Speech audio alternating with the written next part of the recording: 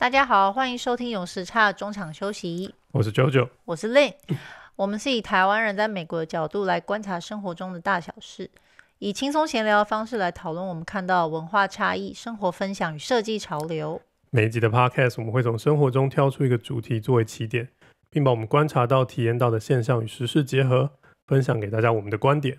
我们的主题贯穿生活各个不同的面向，从设计、音乐、食物、时事、书籍、影集、对谈等等，都会包含其中。好，那今天就是一个另外一个系列单元的开始哈。我把这个单元叫做时差读书会。虽然那个百灵果已经试过，然后读书会的触及率又超低，没有人想看书。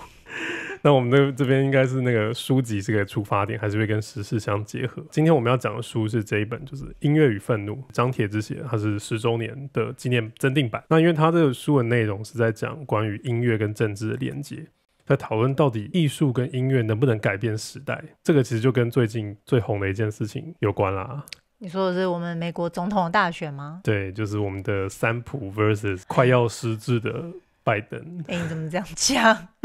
为了一个一开始就乱讲，这样政治不正确。对，政治不正确，有失智的嫌疑啦。没有，那你自己还不是政治不正确？什么意思？不是啊，他表现出来就是这样子啊。好了好了，那这等一下再讲。那到到时候就变成那个直接整个那个 podcast 就希腊变政治对谈，就就很危险。好吧好吧。好，这本书就是叫《声音与愤怒》，它的封面其实就是放了所谓的抗议歌手，就是 Bob Dylan，就是巴布迪伦这样。整本书的主要的在讲，就是它是以时代来作为整本书的。的推进就是一个六十年代、七零年代、八零年代、九零年代，一直到现在这样。到底在历史上发生了什么事情？到底对我们政治的演进产生了什么影响？那其实以前在台湾的时候，我们跟西方的音乐其实连接算是比较薄弱的，除非你是特别喜欢西方音乐，不然的话，我们就我们成长的年代其实是什么周杰伦啊、五月天啊。你以前听什么？我以前喜欢陶喆，他也没有，他也没有特别讲这个内容，就是了。好像黑色柳丁那时候就是有稍微就是做一点点批判性吧，但是绝大部分还是在于讲就是个人情感的部分。对，那其实这个就是东西方在歌唱在写歌词的时候其实有个差异。东方我们其实很常是讲情歌，是讲个人感情的东西。嗯，没错，还是以就是情感交流的情歌为主。对，那他这个书我刚刚讲说，它是以时代来做连接。他其实他们在一开始就是讲到六零年代乌斯达，就是李安以前有拍那个胡士托风波那个乌斯达，是从那个年代开始。然后同时六零年代是在应该是一九六五年的时候有颁布了那个所谓人权法案，来完全消弭在美国的历史上那个黑人跟白人之间就是要必须要隔开啊一些有的没的这些种族歧视方面的法条。所以说以法律为出发点，在那个时候在颁完这个法条就应该要实现所谓的种族平等，但是实际上其实并没有并没有发生这。事情，所以后面大家那个一开始就是非暴力，马丁路德金跟博士那些非暴力的那些诉求，就后来就慢慢的出现了，就是所谓 Black Power，反正也是在六零年代尾尾端的时候开始出现所谓的黑豹党，就是 Black Panther Party，不是 Marvel 那个 Black Panther，是 Black Panther Party，Malcolm X 是里面比较著名的人物，有点像用极端手段来争取黑人的权益这样。同时他也讲到那个那个年代的歌手，像是 Bob Dylan，然后 Joan Baez，书里面也一直在讲一件事情，就是当一个音乐，它在传递讯息，它它产生某一种意义，它想要推翻这个他们觉得不公不义的社会的时候，当它同时取得商业上的成功的时候，它的风格就开始走向死亡，它就开始被音乐工业所吸收，就开始变成所谓流行乐的一部分，就说变商业化，它就被商业化了。然后，所以他的那个批判性，他想要批判的东西，就变成他自己也变成他想要批判那个东西的一部分。嗯，其实书里面就一直在重复这个东西，到底音乐跟音乐工业对抗的结果是什么？因为说实在，没有人可以敌得过红了之后你有经济上的成功，你每天可以把面包放在桌上这件事情。或者意思是说，当你在还没有红之前，你可以把你的理念放在歌曲里面，但当你开始红了之后，歌迷越来越多，然后你赚的钱也越来越多，你开始着重的方向就不只是在歌曲本身，就是你还是要有就是商业化经营，比如说演唱会啊、新专辑的压力啊等等的。其实这个就蛮吊诡，就是音乐，其实那个音乐产业在因为盗版，然后 M P 三开始出现整个产业崩坏之后，歌手被一直要求要一直出新歌，要生产的非常非常快速，然后就变成当下音乐很多就被批评，就说是工厂化的生产，就是我不知道有没有听说这个 formula，就是这个成功模式，倒是没有，但是我觉得这跟那部电影《Yesterday》就很像，就是当一个当男主角只是想要单纯唱歌，然后想要走红，但是当他真的要出专辑之后，那整个唱片公司的包装就让他有一种失去原本的初衷的感觉。Yesterday 中文翻译我不知道是那翻什么，就是那个是那个 Lily James 跟一个印度男生就。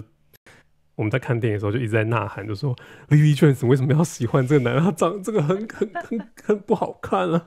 拜托，然后就就很不爽，因为那男的就一不一直不知道 Lily James 爱他爱的要死，然后就觉得头很痛。嗯，但是那部电影那个其实最感人的是后来，哎，这样好像不能不能这样，不能这样，不能不能爆雷啊乱爆雷，那边爆雷仔死全家，这样不行。对对对，好，还是要回推荐大家去看。对，推荐大家去看啊，因为其实里面还蛮多呃 Beatles 的，因为他他等于因为 Beatles 当时是一个等于是 phenomenon 是这个现象级，没有人可以超越他，这在这个书里面有讲到。我好像讲的都跟书里没关系，都跟书有关系，或者硬要把它拉回来跟书有关系。嗯，他等于是从那个男主角的的开的重新来体验一次，就是 Beatles 爆红这过程，建议大家去看。那其实这个书里面还有让我一直觉得一个很蛮微妙的事情，就是他一直讲到左派书这本书的内容其实很 pro 左派，就是很很推崇左派，就是左派。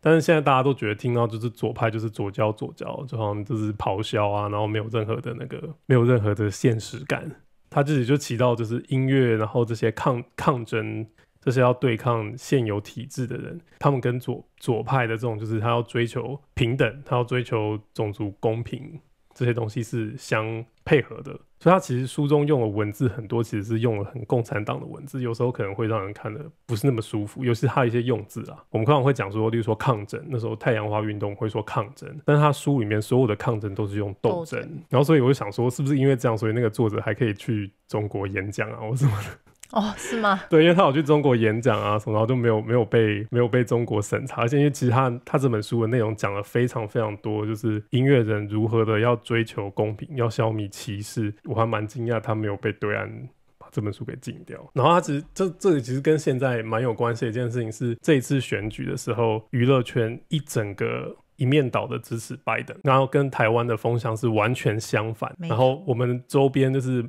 外国朋友，如果跟我们差不多同年纪的，我几乎看不到有人是支持右派的，嗯。我看不到支持共和党或是所谓支持川普的，这跟台湾是一个非常相反的状况。对我有时候觉得自己快要精神错乱。对我们来讲是一个非常诡异的现象，是我们住在美国，但是我们等于是你要说第一代移民也好，我们对于政治的出发点其实是从台湾为出发点来看，我们可以理解说为什么台湾人大家觉得川普当选对台湾比较好，但是对美国人来讲，它就是一个我们是以美国为出发点，这个是我们是没有办法去 强求别人以台湾为出发点，因为只是对美国来讲，真的是台湾算哪根葱。是啊，因为对于大部分的美国人来讲，大选就是美国本土以内的事情。然后，如果你突然就就是要求他以国际化的角度去分析的话，他可能会觉得就是你有病 啊，就是我明明就是自己家的事情，对我哪有管，我哪有办法管那么多啊？而且还有另外很好笑的事情是，那个 Facebook 上我们常会看到台湾的朋友在说，那个拜登就是韩国瑜，但是这件事情我也是很不懂。我觉得真的很不。懂，到底拜登跟韩国瑜到底哪里像，一点都不像。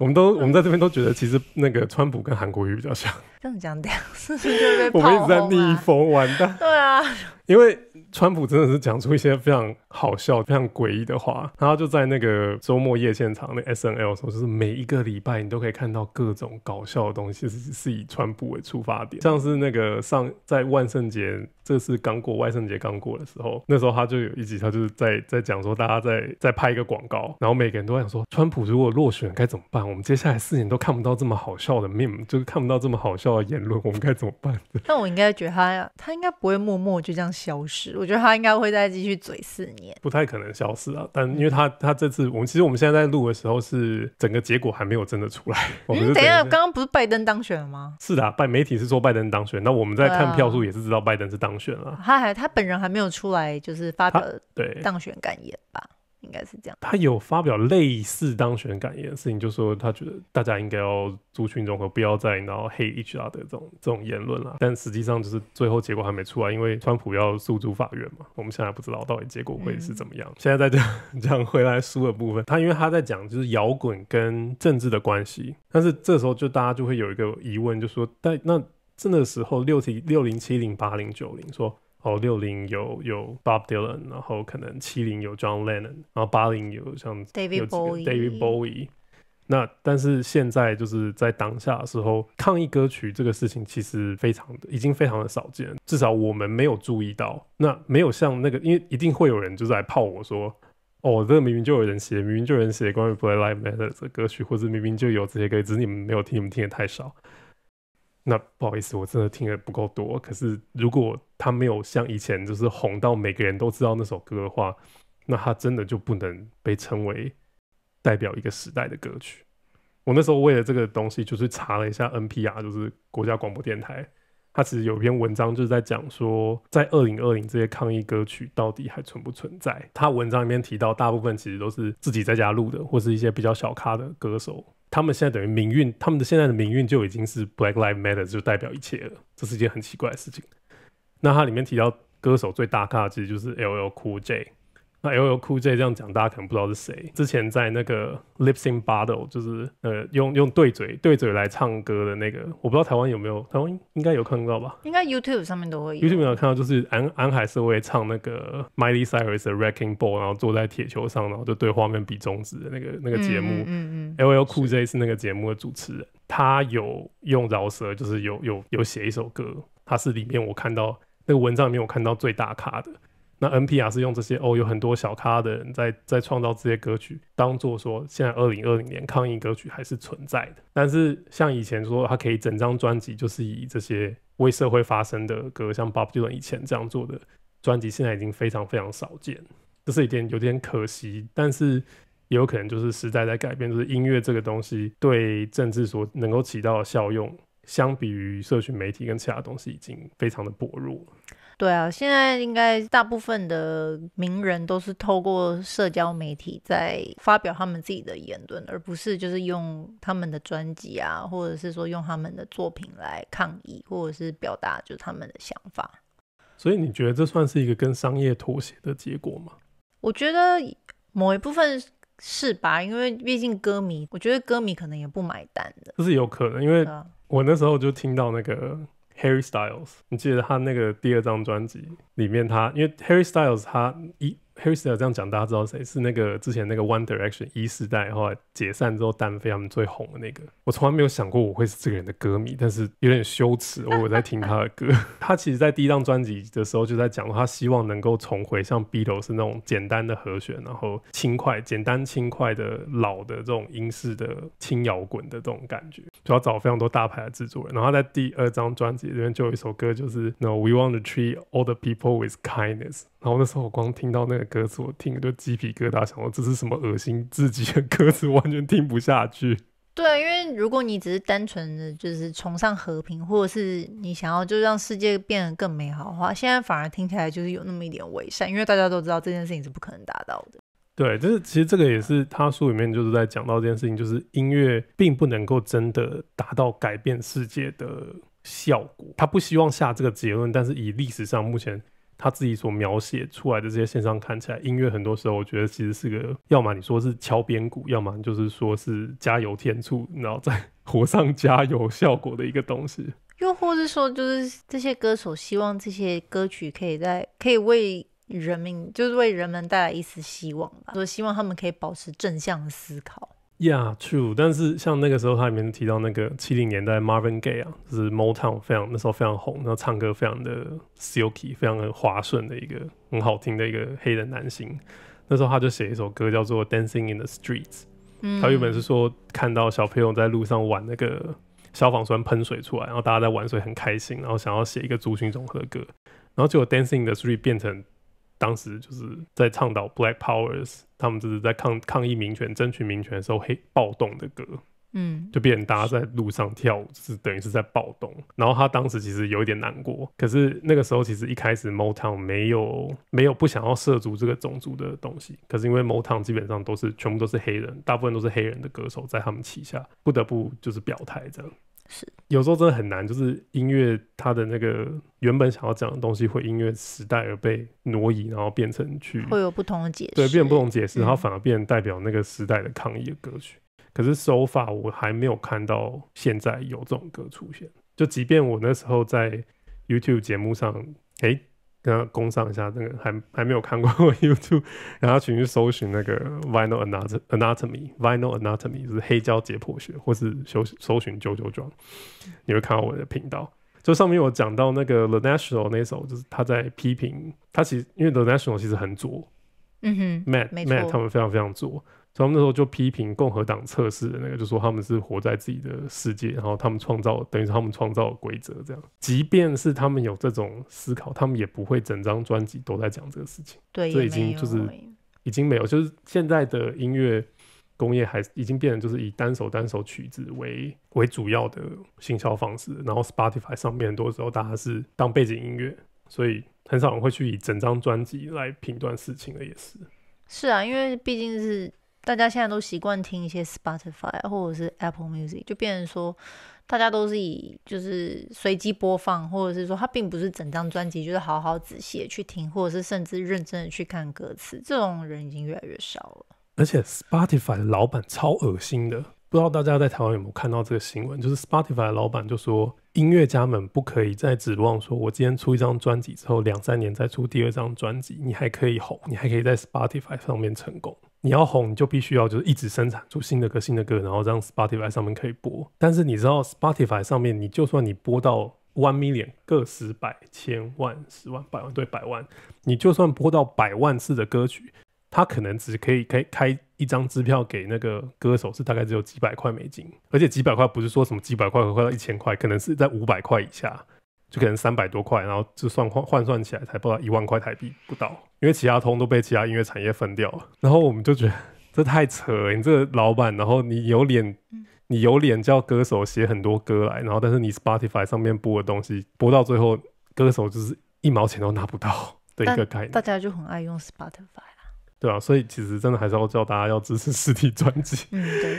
对，因为真的有差。我因为我身边也是有玩音乐的朋友，他们就说他们的歌放在 Spotify 上是拿不到任何钱的，真的是拿不到任何的钱。其实做音乐真的也挺惨。然后他们就说他们赚钱的话，其实有时候是要靠呃歌被广告买走。哦，或是靠周边吗？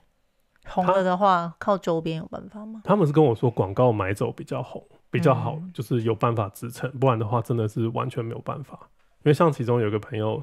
他们就是广告有被买到那个每一年过过 holiday season 的时候都会播，好像是 Reese 还是谁谁那个巧克力的是有用到嗯，他们的歌这样。然后其实我还我有认识那个朋友，他是做 Stranger Things，就是朋友的朋友，他们是帮 Stranger Things 写那个主题曲。哦，那还蛮那个。对，就是要像这样，他才有办法拿到比一般音乐人更健康一点的钱，更健康，还不是说真的很多钱，很惨，就是很惨。在某方来讲，就是音乐跟艺术，就是把这两个东西放在一起的时候，音乐还比艺术好一点。说实在，就是音乐你还有这种爆红机会，就是你被某个节目买走，或是或是你知道突然红了这样。那你红了之后，你还可以赚得到钱，但是艺术很多时候就是你就算爆红了，那个艺术家本人也拿不到钱，因为都被拍卖，然后被画廊拿走了。因为画廊他常那个，哎、我这样觉得好心酸啊。我这样好像一直在报报那个产业聊的 不太对。那个画廊常抽成是从百分之五十开始抽的，而且那个画廊抽，那个画廊是一开始常常是买断画家的作品，所以即便他后来把你的作品往上卖，你也不一定拿得到那么多钱。尤其是他如果转手过的话，你根本拿不到钱。也是，所以做艺术家有时候可能真的会饿死。以后叫小孩不要去当艺术家。对，就是就是那时候就看到网络上 面就是那个小朋友在肚子里面，然后跟妈妈说我要念艺术，然后妈妈就赶快打盹，不爽这样。然后就好，然后我们要回到书的内容哈。那个书其实在八零年代还有讲到说，那个音乐打破种族隔离的摇滚演唱会。那那个时候，其实这整本书里面都对右派的媒体还有右派的政治人物非常非常的不友善。诶，对右派媒体非常不友善哦。你知道右派的电视台是哪一家吗？就 Fox 啊，不然没错，就是 Fox。他说 Fox 就是台湾，大家都在说 Fox 主播很挺台湾啊，帮台湾就是抗中的那个言论或什么，通通都是 Fox。可是 Fox 在美国就是中天，嗯，没错，应该人家觉得看 Fox 应该是看 Fox 的人应该都脑袋怪怪。对，就是如果你跟别人说哦，我的那个新闻来源是 Fox，然后人家就会给你一个白眼，然后觉得说你是他妈脑袋坏掉了吗？马上 unfriend，对，马上 friend。有到这么严重吗？可能就不想跟他讲下去了吧，因为就会觉得这人是不是真的？因为你就知道这人立场完全不一样啊。对对啊，然后在那个时候，那个在那它里面书就是写到那个时候那个种族隔离演唱会的时候，Fox 在转播的时候就阉割掉大部分重要的反种族言论，还有就是非常具有代表性的反种族的歌曲。但是现在发生了什么事呢？现在发生就是川普在抗议说那个投票系统有问题的时候，被 NBC、CBS、ABC 全部卡掉。就他讲讲讲讲，然后那个主播就说：“哦，Here we go again，又来了。”然后我得要打断美国总统的讲话，因为这里面真是充满了非常多的错误的资讯跟就是仇恨言论。这样，其实我还蛮没办法相信，就是在就是现在这个年代，居然还有人会去卡掉这种东西的。而且是卡掉美国总统，这真的是非常非常严重的事情。这个事情就变成就是很火上加油，就变成说右派又会觉得，哦，你看，你看，就是媒体这样就都被你们左派掌控，然后就是就卡我们总统，卡我们最爱的总统的言论，然后你这样要说什么，你们媒体是公平的，然后就变成又激化了这个东西。但是反而是大家台湾在笑的，CNN 没卡。席恩恩吗？席恩恩没卡，席恩恩做了一件事，我觉得非常好，就是他没有卡掉。他那个趴播完之后，他们的那个王牌主播主播 Anderson Cooper，他就说了一段超级酸的言论，他就说那个川普是一个 obese turtle on his back under the huge sun，like refuse to admit his failure。他就说川普是一个肥胖的缩头乌龟。然后就是倒在地上，就他壳在地板上，然后翻不过来，然后上面是大太阳，然后就把它晒干，然后不愿意承认他的错误。然后看完之后觉得，天啊，安德森·库珀，你好酸，你好会讲，好好笑。其实我觉得这样 OK 啊，就是你播完之后，然后你可能你知道有一系列节目，可能骂川普骂个两三个小时，一一反驳他里面讲的每一个谎言或者是错误，这都是可以接受。但我没有办法接受，就是把这个新闻，就是你觉得他是错的，然后你就把它卡掉。就大家在讲言论自由，言论自由，对于一个媒体来讲，媒体其实是不应该去做这种言论审查的。这个才是真的言论自由的意义，尤其是你今天你要做一个公正的媒体的时候，你更不应该去做这种事。你人民必须要有知道对方讲了什么的权利，然后做出批判，而不是你媒体这样去做出这么严重的批判。尤其是你卡掉的是现在的美国总统，在他还没卸任之前，他都是美国总统。因为其实我们也很不能接受川普有的讲有的没有什么把那个漂白水打到血管里面啊，或什么。嗯，always 就是各种，就是我我我超棒，我超棒，就是林肯以来我是最棒的总统，嗯，然后或是讲各种奇奇怪怪的言论，只要是有念过书的人，通通都受不了的。我觉得这很大一部分造成他这次会输的理由。因为对美国人来讲，他就是跟当初就是国民党派出的候选人韩国瑜一样，就是他讲话就是非常的接地气吧，就是他可以很轻松的讲出一些话，然后让一些比如说蓝领阶级的民众，然后。很支持他，对。然后，但是你知道，我们现在就看到很更多很诡异的画面，什么就是有人要拿枪，然后冲进那个开票所，然后就是要去要去看这些开票人员到底有没有作假，或是穿着川普的戴着那个川普那个很经典很丑那个红帽子，然后在那个开票所前面跪。跪着在